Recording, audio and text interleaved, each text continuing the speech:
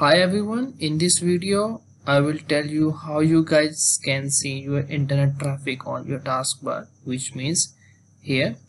But let me show you the first how you normally can see your internet traffic. You just have to go to the taskbar right click here and go to your task manager. This pop-up opens. You have to go on more details click here and go performance tab. Once you are in the performance tab in it's as you can see there is a Wi-Fi here and that's my sending and receiving details. So like this you can check your internet traffic on this panel. And if you wanna see this kind of information on your taskbar here let's do this. For this you have to go on your uh, Google and search net traffic monitor.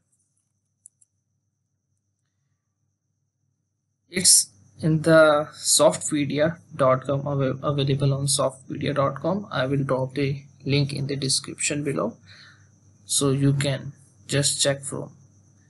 Okay so now uh, we are in the task manager.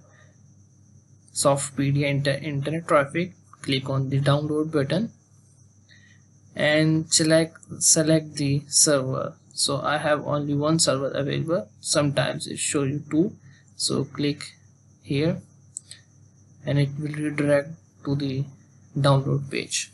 So it takes a little bit time to download. It's depend upon your internet. So let's complete this okay so I'm waiting here. Is a little bit small file here. As you can see it's already downloaded. It's a zip file and I am extracting here. So that's the software. We have to click here. Go to the next. Select your destination installation folder.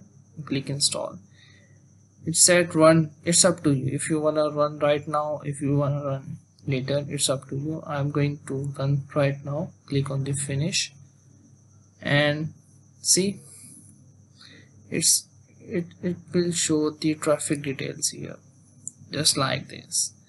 And once you hover on this taskbar and it will show you how many MBs you are uh, how many KBs you are consuming right now. So you can check uh, the internet traffics how much MBs you save how much GBs you received while playing games or doing something. So test for it. Uh, if you guys like my video make sure you subscribe my channel and like my video. Thank you so much